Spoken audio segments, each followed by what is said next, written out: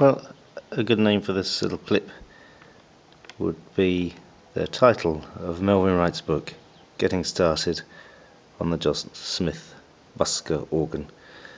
I've decided to build myself a busker, having discovered the plans on internet. So I've bought a copy of John Smith's uh, plans. So I've got my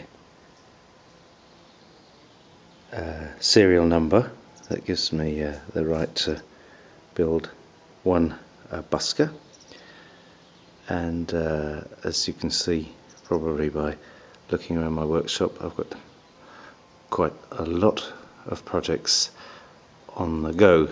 And it's about time I tidied up and organized myself and uh, worked in a new manner.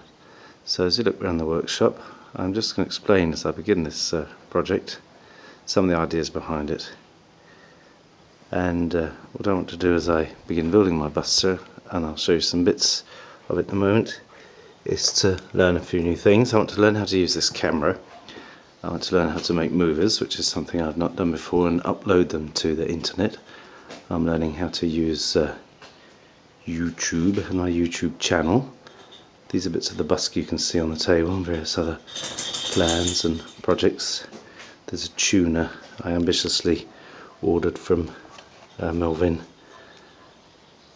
A Korg tuner for my organ. This is the organ. Well these are the pipes or will be the pipes. And so um, this is my assistant Muffin. And uh, my assistant's assistant uh, Wolfie is just here.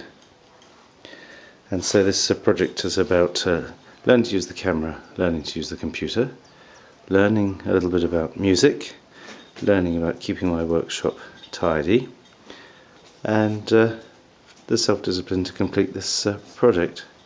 So step number one is going to sit down, read the plans, study the plans, make notes, and uh, then start cutting the wood and making those pipes and if I get cold I'll uh, light a fire in this lovely bread oven that you can see into here which is a granite oven built into the wall of what will be a kitchen one day once I've got my organ. The uh, finished pipes will appear in the second section of this uh, film.